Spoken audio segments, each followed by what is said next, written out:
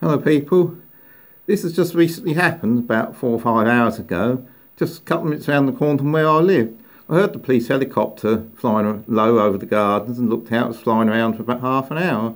This is what happened.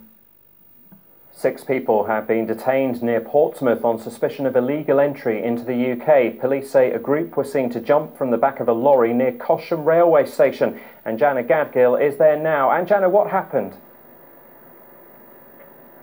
Well, Alan, everything's back to normal now, but train services in and out of Cosham were affected for around five hours this afternoon and evening after a group of men suspected of being illegal immigrants got out onto the track. Services between Cosham and Fareham were stopped throughout a busy rush hour period.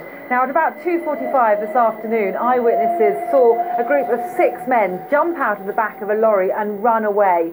Some of them ran over the footbridge here and got out onto the track. The police helicopter was brought in, and together with Hampshire Police and British Transport Police, the men were tracked down and detained. And Hampshire Police say that four men are currently in police custody and two other males are in the care of social services. They also say that UK Border Force has been brought in to investigate what happened.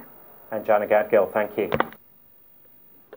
As you probably heard, in the last couple of weeks, there's been people coming in, coming in in Kent on little boats coming across the channel in, into Dover.